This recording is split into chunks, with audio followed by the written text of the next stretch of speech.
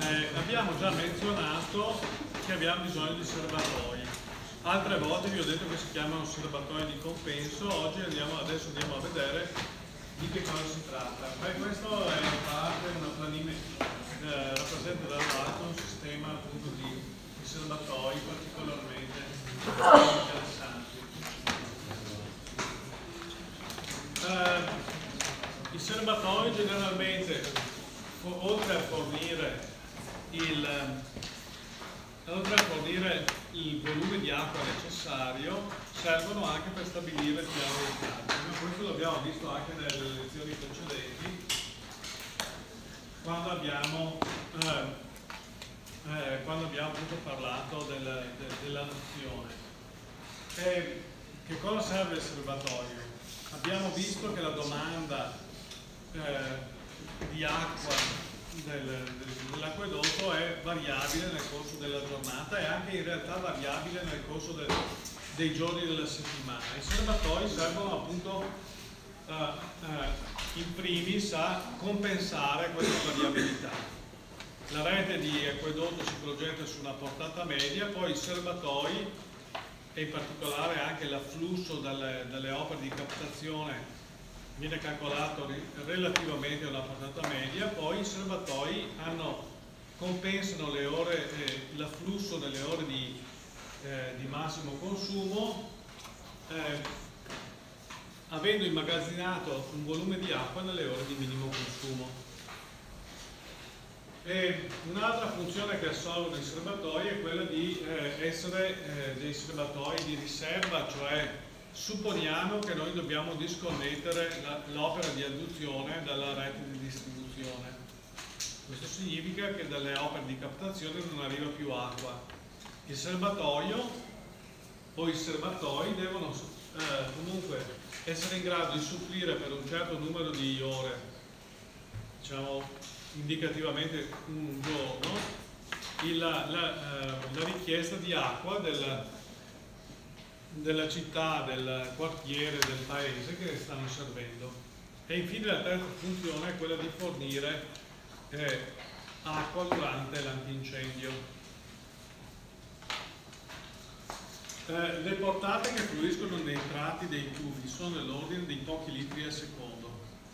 Quando però noi azioniamo un idrante, questo idrante come minimo, quindi un eh, sì, un idrante come minimo eh, eh, richiede 2 litri al secondo, che è una quantità di acqua che è dello stesso ordine di grandezza di quello che richiederebbe l'utenza. Quindi nel caso di un incendio il funzionamento di due idranti in contemporanea potrebbe comportare di per sé il, eh, eh, il consumo di tutta l'acqua disponibile. In questo caso il serbatoio deve poter far fronte a questo utilizzo quest'acqua necessaria in più per lo spegnimento degli incendi.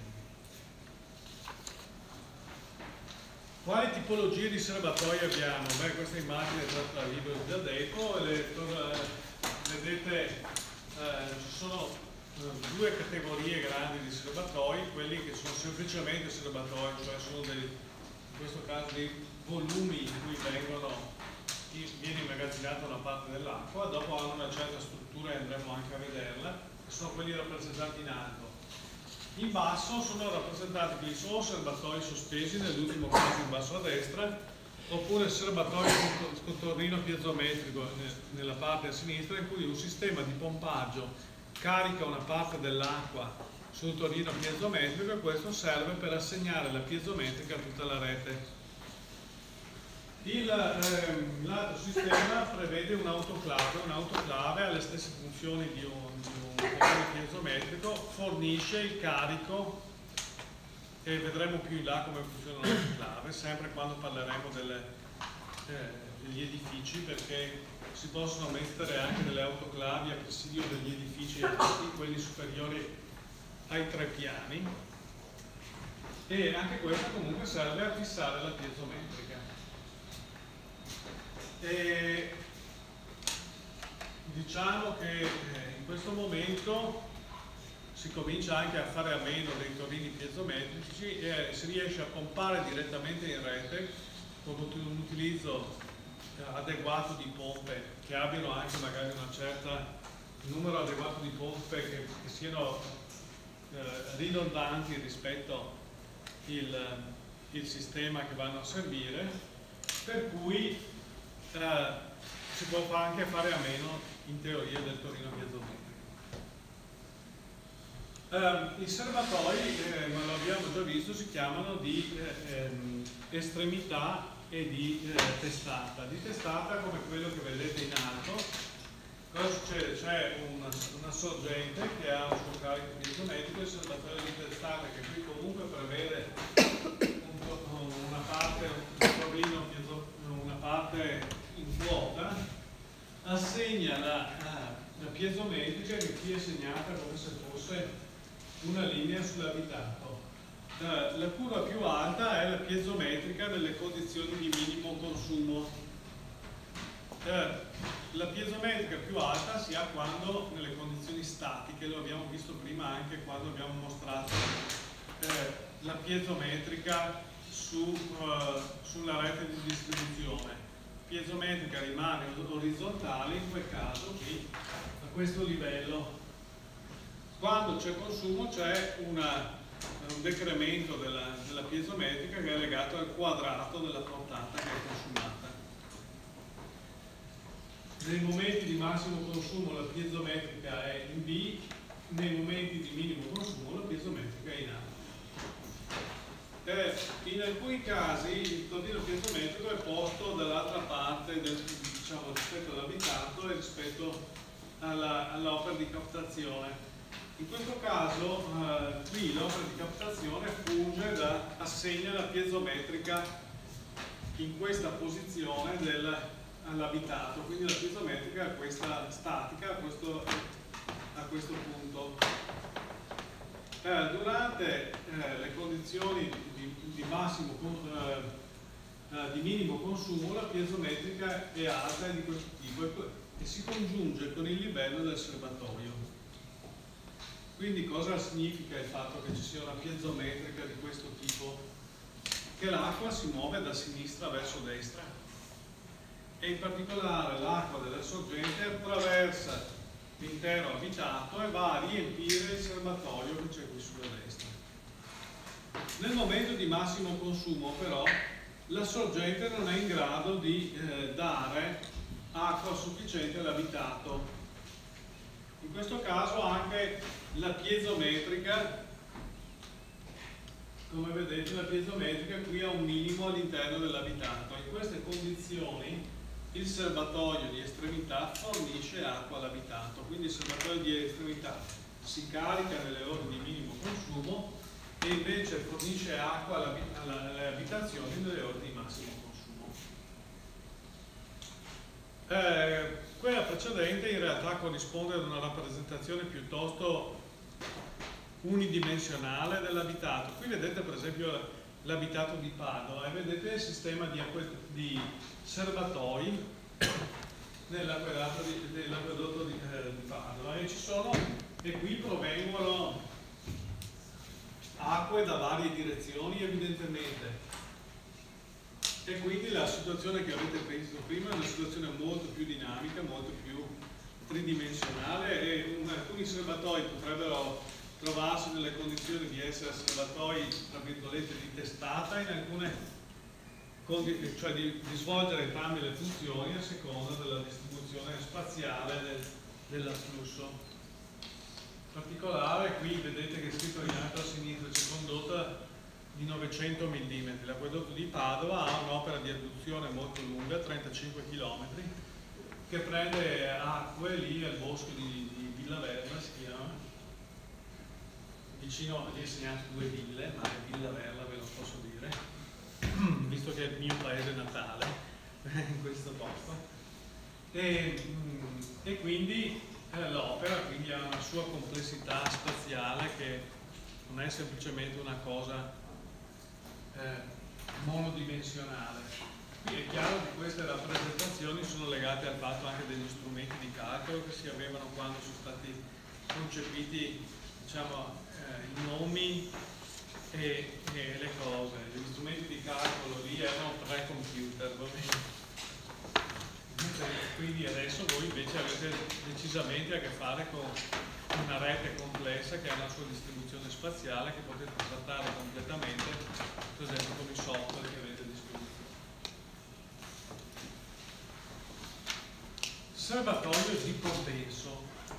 No, di, eh, e come andiamo a calcolare il volume di riserva? Beh, il volume di riserva, qui abbiamo chiamato capacità di riserva con C con R, che cos'è? È il lo possiamo ottenere come la portata di, giornaliera di progetto Q cappello G e poi andiamo a vedere qual è la portata giornaliera di progetto è la portata che si manifesta eh, nel giorno di massimo consumo e nell'ora di massimo consumo. Per 86.400 che sono i secondi in un giorno diviso 1000 se eh, la portata è data in litri al secondo come di solito avviene. E quindi questo mi dà il progetto in, in metri cubi. Per esempio noi abbiamo eh, la, eh, una, una popolazione di 3.000 abitanti ad ogni abitante qui assegniamo per farla semplice una dotazione idrica di 275 litri giorno.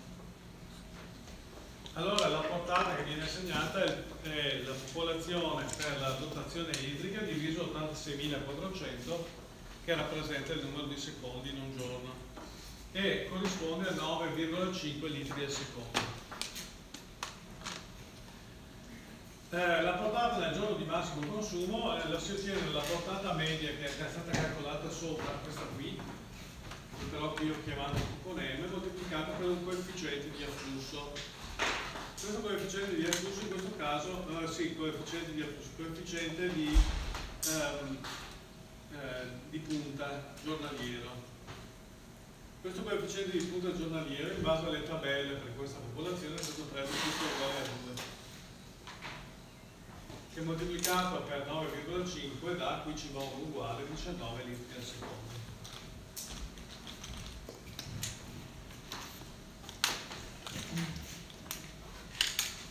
La capacità di riserva allora che cos'è? 19 litri al secondo per 86.400 diviso 1000, 1642 metri cubi. Abbastanza, un bel, un bel volume. Sempre ragionando sulle dotazioni potremmo fare lo stesso calcolo per una città di un certo numero di abitanti, qui 200.000 abitanti, diciamo che potrebbe essere Modena per esempio, una città di 200.000 abitanti, un po' più grande di Trento. Allora, secondo le tabelle che abbiamo, a Modena dovrebbe essere assegnata, ma qui forse la cosa è un po' esagerata, 600 litri abitanti al giorno, eh, eh, una dotazione di litri abitanti al giorno di 600. Questo perché ci sono vari servizi e cose di cui parlando la volta scorsa. Eh, conseguentemente il solito, di solito si calcola la portata lo stesso 200.000 per 600 e fa 1388,8 litri al secondo ho lasciato il virgola 8 perché dopo va ulteriormente moltiplicato per il coefficiente di punto giornaliero esattamente come prima però qui siccome la città è più grande, il consumo, i coefficienti di punta sono più bassi, i coefficienti di punta sono 2 per, per, le unità piccole, diciamo, e tendono a 1 man mano che la città diventa più grande. E allora qui è 1,5 per 1388 fa 2083 litri al secondo. A questo punto il calcolo di, del, banale calcolo del, del, del, volume di riserva che in questo caso è 180.000 metri cubi. Vedete 180.000 metri cubi prima 1600 metri cubi, quindi eh, è ben superiore al rapporto fra la popolazione delle, delle, delle due città. Il, in ogni caso il volume di riserva si calcola in base a questo tipo di considerazioni. Per esempio potremmo ritenere che per la città di 2000 abitanti, 600 litri al secondo all'abitante siano comunque troppi, vorremmo magari poterla calcolare ugualmente per 250-300 litri al secondo, magari se è una città in questo momento in, in questi luoghi noi conosciamo quali sono i consumi tipici siamo in grado di dare dei numeri che non derivano da statistiche che sono anche in qualche modo obsolete. Per esempio se fossimo a Trento noi sappiamo che la dotazione in questo momento è di circa 250 litri al secondo per abitante. Questa comunque è una cifra ragionevole. Vi ho detto che dobbiamo fornire anche acqua nei momenti di incendio. Allora per il momento antincendio una una cosa, un riferimento interessante è la normativa che ci dice che si divide in tre classi A, B e C o 1, 2 e 3 a seconda dei gusti e gli, eh, la, la, necessità di acqua durante, durante un intervento di antincendio. Per esempio in alcune case quando si tratta di zone residenziali in cui ci sono abitazioni normali eh, eh, potremmo dire che l'area per esempio è in, in classe A, mettono anche luoghi di culto qua, quindi non so se vogliono che si brucino le chiese o le moschee o, o cose di questo tipo, ma probabilmente questa della classe A è comunque per gli standard che ci sono anche qui è troppo bassa. No? E per ogni idrante una lancia con diametro nominale di 45 mm 2 litri al secondo che funzionino con due bar per mezz'ora, 30 minuti. Ecco. Quindi in questo caso, con tutti questi dati, noi siamo in grado di conoscere quanto volume serve una semplice moltiplicazione. Dopo il calcolo lo andiamo a fare dopo.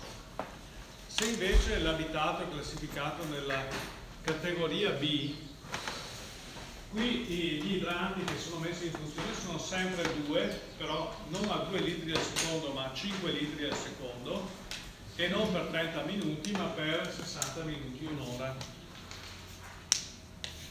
Infine c'è una categoria C, uh, ma in questa categoria C possono entrare uh, varie, eh, generalmente le, le, categorie crescono con eh, anche la uh, l'esposizione al rischio, cioè se per esempio noi abbiamo un centro storico fatto di case in legno, queste cadono sicuramente nella categoria C. Se siamo in un luogo dove sono presenti infiammabili, siamo nella categoria C, piuttosto che nella categoria A. In questo caso dice non meno di 6 idranti con la lancia da DN70, 5 litri al secondo per ogni idrante. In alcuni casi, peraltro, eh, una visita preventiva da, eh, dai vigili del fuoco vi consente per esempio di avere anche condizioni intermedie, per esempio due idranti da 7 litri al secondo che funzionino per due come in questo caso.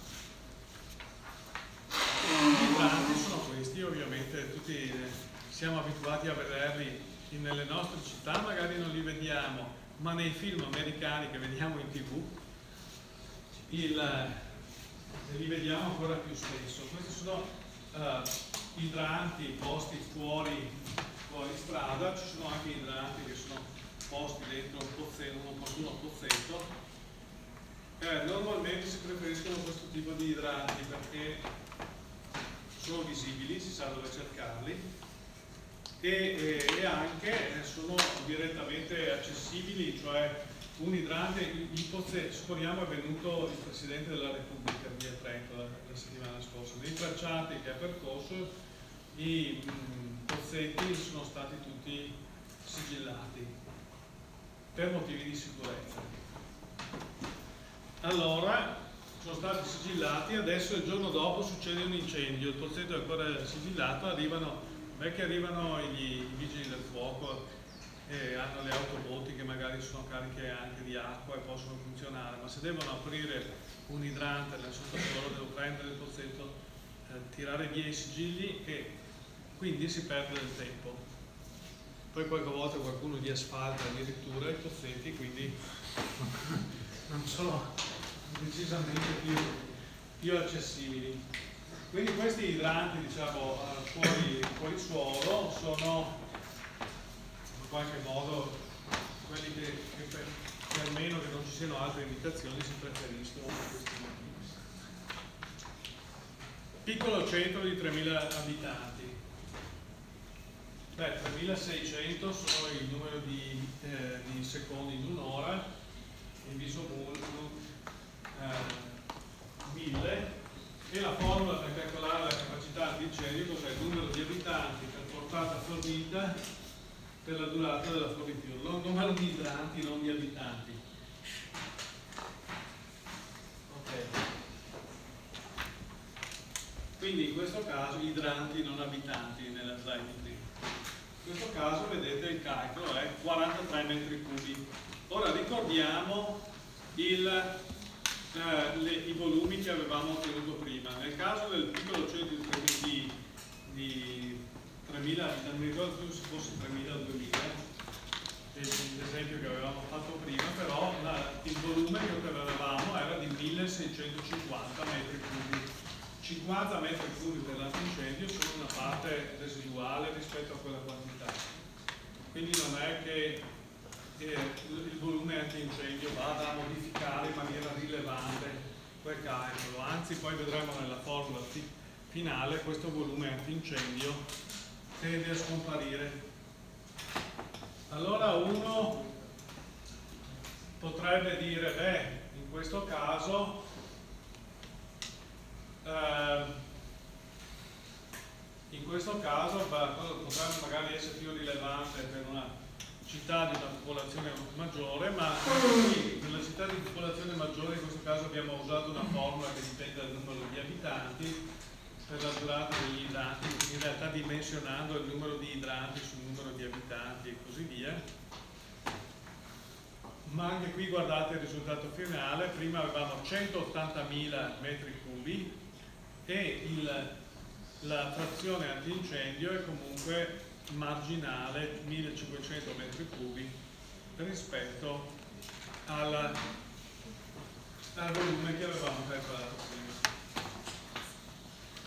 Quindi la conclusione che possiamo trarre in questo momento è che se noi per esempio andiamo a dimensionare il volume di riserva o il volume antincendio, eh, possiamo direttamente dimensionare per il volume di riserva e in qualche modo trascurare il volume antincendio a meno che non sorgano delle indicazioni di altro tipo che possono intercorrere. Veniamo infine al volume di compenso. Volume di compenso, noi abbiamo un serbatoio, l'equazione dei serbatoi, questa si chiama anche, ma è sempre la solita equazione di continuità. La variazione della capacità del serbatoio nel corso del, del, o del volume del serbatoio nel corso del tempo, che cosa è, è data è data dalla fornitura QCONA che arriva dall'adduttrice, ovvero la portata di progetto del nostro sistema che eh, le opere di captazione sono supposte fornire. Meno Q con U che sta la portata richiesta dall'utenza. Se integro quell'equazione lì, trovo che la capacità del mio osservatorio è l'integrale fra 0 e un certo pico di che potrebbe essere per esempio un giorno, 24 ore, della uh, Q uh, necessaria all'utenza su tutto il tempo meno QA pico di. Niente di particolarmente complicato, anche banalissima integrazione di quell'equazione nel modo più stupido possibile.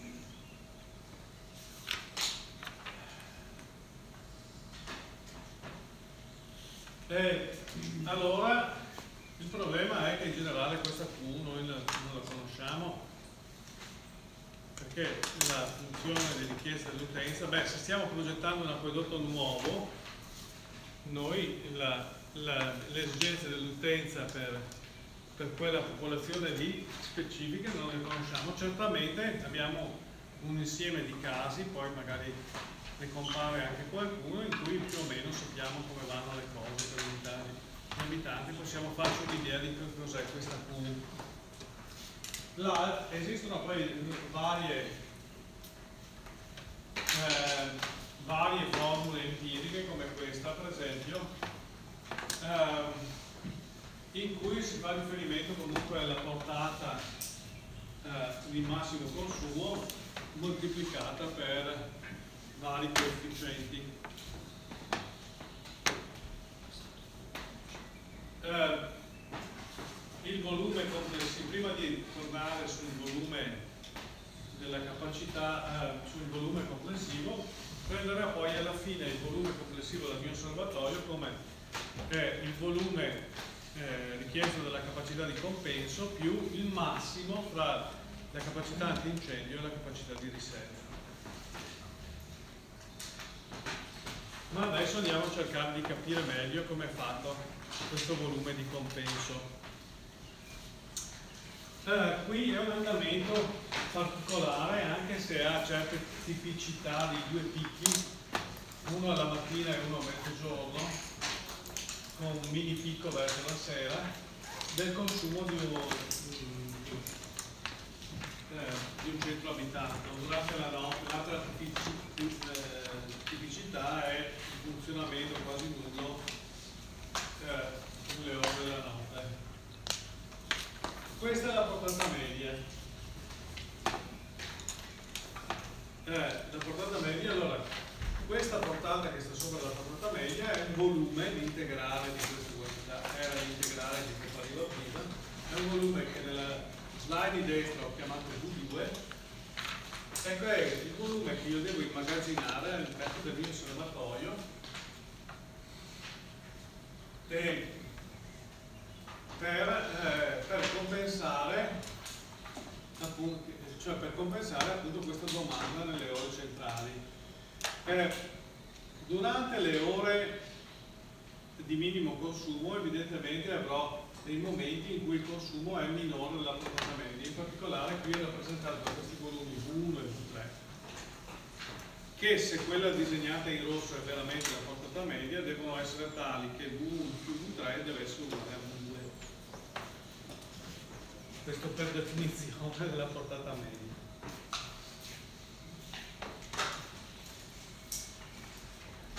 Quindi la situazione è questa, se la guardiamo normalmente non viene vista in questo modo cioè l'andamento delle portate ma viene visto uh, nelle, eh, nella forma integrale cioè l'integrale di quello che avete visto prima. Se noi integriamo le curve che compaiono nel, eh, in questo grafico cosa succede? la retta costante diventa una retta inclinata che rappresenta l'aumento di volume nel corso del tempo. Ed è quello che qui è rappresentato da queste rette tratteggiate in rosso. Uh, L'andamento delle portate qui, eh, eh, qui deve essere integrato, quindi è una funzione sempre crescente e qui è rappresentato dalle curve che vedete rappresentate in blu. Qui che cosa succede? Qui sono nelle ore di minimo consumo, consumo meno della portata media, poi consumo di più della portata media, ma alla fine devo, se il mio osservatorio è ben dimensionato, dovrò fare in modo che, che se la portata media è ben calcolata, la linea blu e la linea, e la linea tratteggiata rossa devono coincidere agli estremi.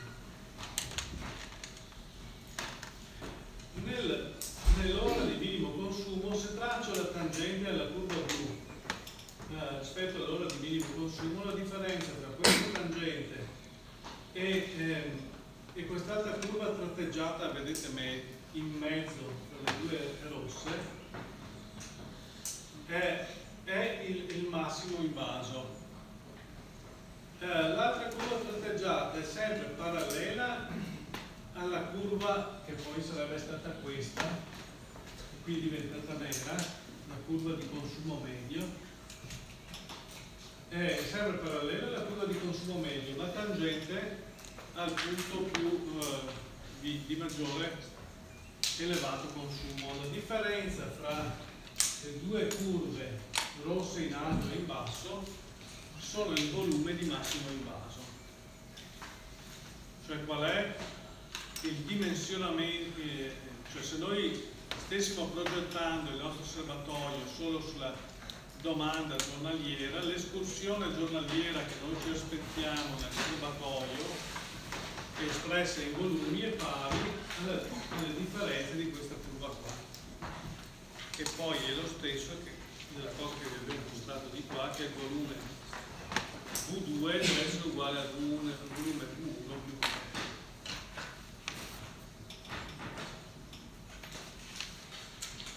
quindi in ogni caso noi dobbiamo ricostruirci delle curve di questo tipo quando vogliamo cercare di capire qual è il volume del nostro, la del nostro, eh, del nostro sistema.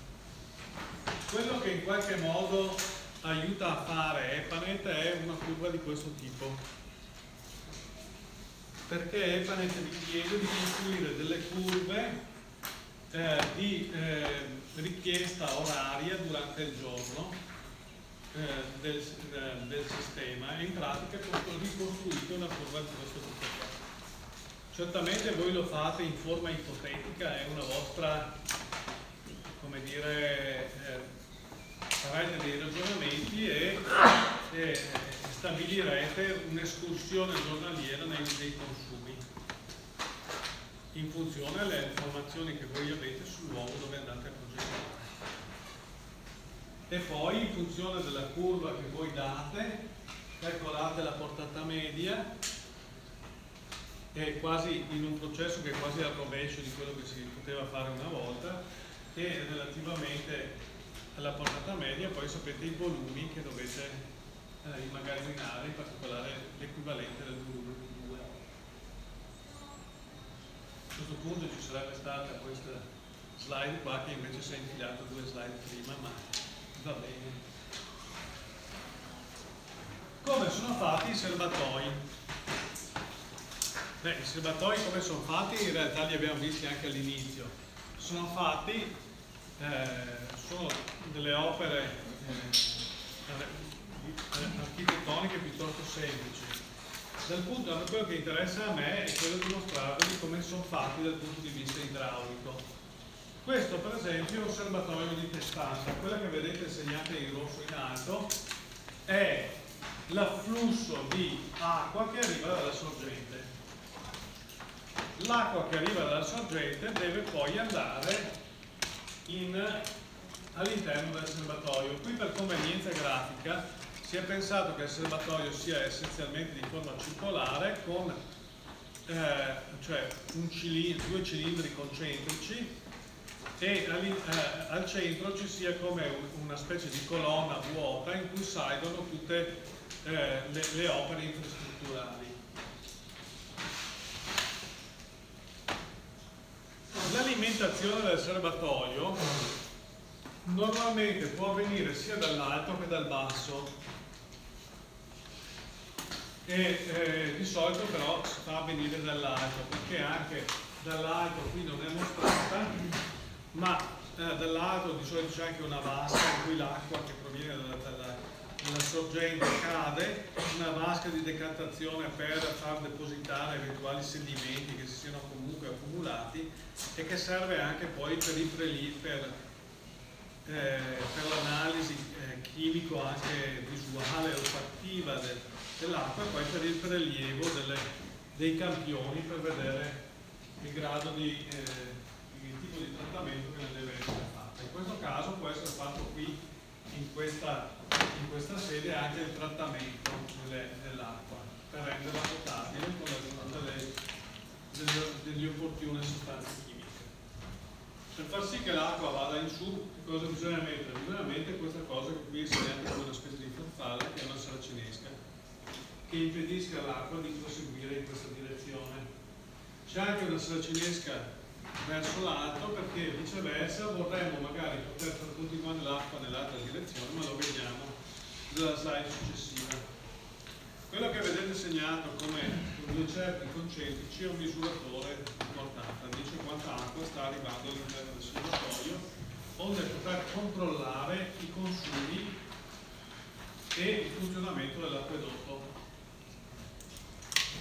In alto, sia in alto che in basso, di nuovo c'è il presidio di due eh, saracinesche e poi c'è la caduta dall'acqua nell'acqua. Ora supponete che noi per esempio dobbiamo fare una manutenzione a questo eh, serbatoio e vogliamo per esempio quindi riportare il serbatoio ma comunque continuare a servire la popolazione. Questo caso chiudiamo questa saracinesca e una volta chiusa questa saracinesca facciamo fluire l'acqua della sorgente direttamente all'utenza. Anche qui senza un impianto di potabilizzazione potrebbe essere eh, rischioso, qui naturalmente si assume che la parte di potabilizzazione sia avvenuta a monte, per esempio in prossimità del sorgente.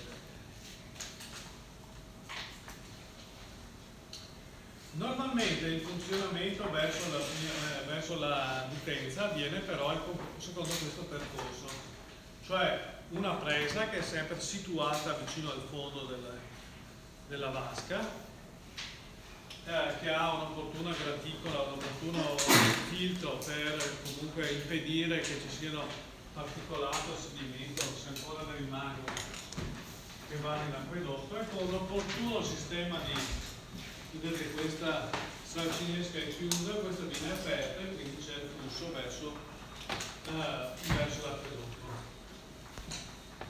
Gli altri elementi che voi vedete rappresentati rappresentano gli scarichi, cioè sempre uno scarico di troppo pieno affinché il livello non possa superare eh, il, il, il livello, ma, un livello massimo della vasca e un scarico di fondo per svuotare completamente il, eh, il serbatoio, esattamente come un rubinetto, come un lavandino nel nostro bagno.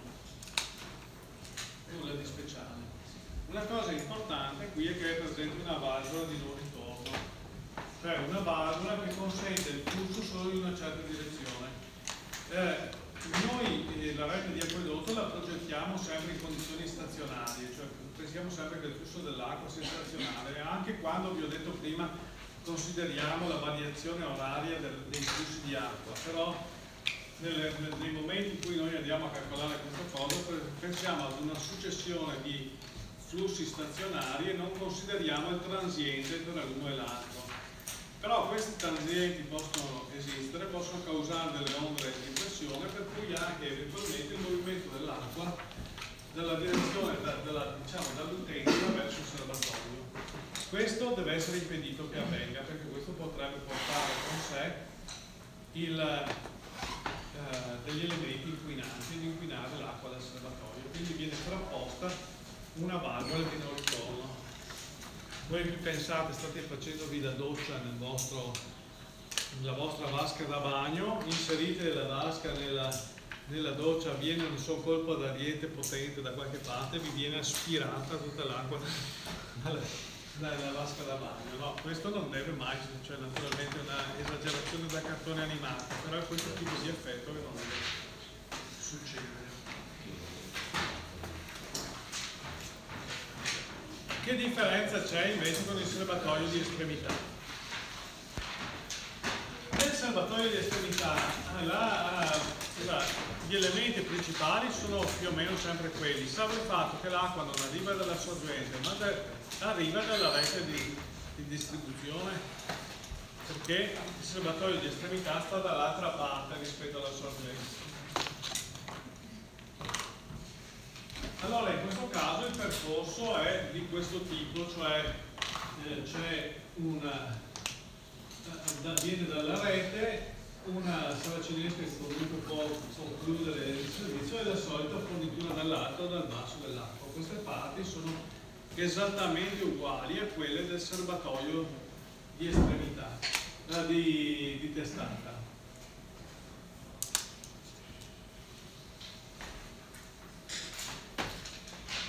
nelle ore di massimo, di, di massimo consumo però, cioè questo era il funzionamento delle ore di, eh, eh, di minimo consumo, quelle in cui il serbatoio si sta caricando. Nelle ore di massimo consumo invece funziona così, cioè si va dalla presa attraverso un contatore, qui c'è un contatore anche in entrata, peraltro dalla presa valvola di non ritorno, qui ho fatto la freccia, non ho seguito esattamente il percorso applicato, ma valvola di non ritorno e si va all'utenza, quindi il serbatoio di, di, di estremità ha questa duplice funzione. Eh, forse prima mi ero dimenticato di dire, ma dagli scarichi di superficie si può andare direttamente, va direttamente alla fognatura, cioè in questo caso l'acqua non va all'utenza ma va alla fognatura bianca o comunque viene dispersa. E, e, e, e quindi questo è il percorso relativo. Come sono fatti poi in pratica i serbatoi? Vi ho detto che dal punto di vista costruttivo i serbatoi sono relativamente semplici, questo per esempio è un serbatoio circolare, eh, i tubi che vedete segnati in tratteggio sono le, le, le, varie opere di presa che poi escono, questi sono i sistemi di, eh, saracinesche e evidentemente accanto serbatoio ci deve essere sempre una vasca, un, cioè un vano di servizio con tutte queste opere che possono essere manovrate. Una volta venivano manovrate a mano, adesso tutti quei sistemi sono elettroassistiti e quindi possono essere comandati anche a distanza. Uh, qui vedete altri esempi, sempre semplici, due altri esempi semplici, uno quello a sinistra, c'è il torino piezometrico, prima di fornire l'acqua all'utenza, cioè l'acqua non viene fornita direttamente all'utenza come succedeva nei casi precedenti, ma viene caricata sul torino piezometrico da un sistema di pompaggio. E dal torino piezometrico poi fluisce verso l'utenza, quindi con il carico che è assegnato dall'altezza della quota della, della, quota del torino piezometrico. Viceversa il sistema, cioè allo stesso modo il sistema con l'autoclave che vedete in alto a destra, eh, l'autoclave è un contenitore di solido in acciaio in pressione in cui viene prodotta la pressione opportuna che poi dà il carico piezometrico attraverso un sistema di pompe stabilizzato. Eh, una, una, questione relativamente recente se, se si devono mettere i torini piezometrici o no. Direi che, da, che Qui in Trentino non c'è problema di torino piezometrico perché i serbatoi sono sempre in quota e abbiamo sempre a disposizione una montagna, una montagnola, una, una, qualcosa per piazzare la quota opportuna un serbatoio in funzione anche della piezometrica che dobbiamo fornire. In pianura però questa cosa è diversa. E, e quando i sistemi di pompaggio non erano molto reliable, molto affidabili, il, si costruivano i tornei piezometrici che, che adesso sono giudicati eh, molto impattanti dal punto di vista visivo. Il, e quindi noi siamo abituati quando andiamo in pianura a vedere di tanto in tanto questi torrini piezometrici, di solito in un paese un torino piezometrico. E eh, più recentemente attraverso l'uso di autoclave, di sistemi eh, di pompaggio che magari hanno eh, anche sono controllati e gestiti in maniera intelligente, eh, si può pompare direttamente l'acqua con un, sistema di pompaggio direttamente in rete con la pressione eh, dovuta. Questo ha dei vantaggi eh, notevoli perché il, eh, pompaggio si può regolare delle ore di minimo e di massimo consumo in modo diverso in maniera tale da anche eh, minimizzare per esempio le perdite di acqua all'interno degli acquedotti. E diciamo che il torino normalmente ha una funzione stabilizzatrice rispetto alle pompe, che per avere un sistema che funziona direttamente sulle pompe eh, noi dobbiamo avere sempre le pompe in, funzione, mentre per avere un torino piezometrico le pompe possono anche staccare e fin tanto che il Torino o il serbatoio in quota ha acqua può fornire acqua all'utenza e, e, ha una funzione in qualche modo stabilizzatrice della, della, della portata. È un problema di affidabilità. Comunque adesso io i torini piezometrici li vedo piuttosto cadere piuttosto che crescere in giro per la pianura. E quindi significa che man mano nelle condizioni di utilizzo i sistemi sono affidabili. Da ultimo, sì, questo è, sono progetti fatti in un modo un po' eh, meglio, come vedete, in un, un modo migliore, perché hanno anche, sono progetti che non hanno tutta questa grande difficoltà, ehm, creatività architettonica, però possono essere fatti anche con un minimo di ingegno. In questo caso questo è un osservatorio interrato in cui l'interramento serve anche per garantire il, la tenuta termica del, del sistema perché noi dobbiamo anche ricordarci che qui i serbatoi devono essere isolati per contenere l'acqua e dopo ne vedremo alcuni esempi per cui l'isolamento magari è fatto con un sistema di, eh, per esempio con acciaio zincato o acciaio opportunamente lavorato, ma devono mantenere anche una temperatura dell'acqua che sia eh,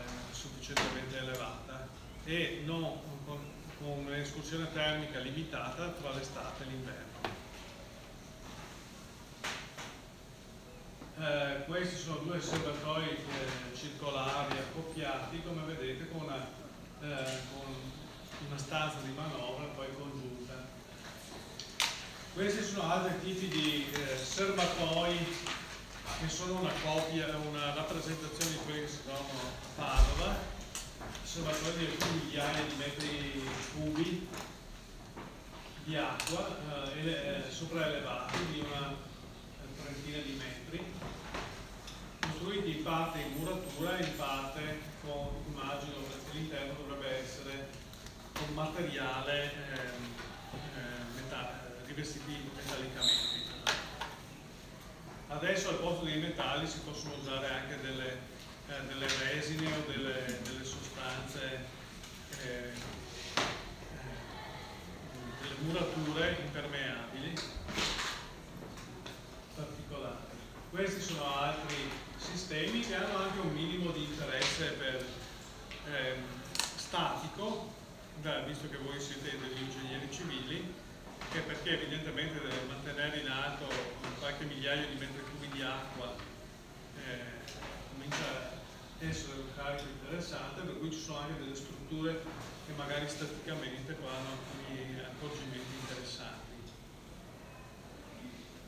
Eh, questo è il serbatoio INSE, praticamente quello che interversava una quarantina, cinquantina di anni fa, un po' tutta la pianura, la parte, diciamo, il piedestallo è fatto in, in calcestruzzo armato e il serbatoio in sé invece è metallico. Oppure serbatoi come ne vedono eh, soprattutto nei film americani, nelle città americane, sono questi tipi di serbatoi che sono interamente metallici. Uh, ci sono anche serbatoi di questo tipo che sono peraltro più usati più che per l'acqua, serbatoi di questo tipo contengono di solito gas di questa forma, ma ce ne sono anche alcuni che servono, uh, che servono appunto il, uh, lo stoccaggio di acqua, in particolare qui dice che è di acque minerali.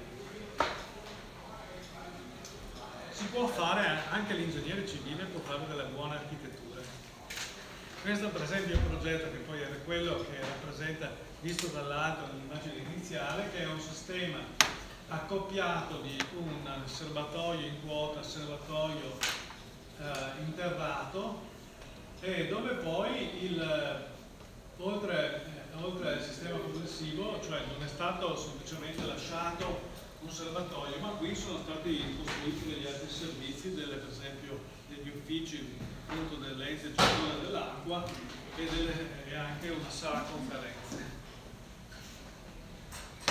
Questa è la planimetria complessiva eh, che voi vedete in parte quindi tutto interrato con una, una specie di cavedio centrale, questa è la rappresentazione del tipo di sistema con il torrino che viene qua in basso verso di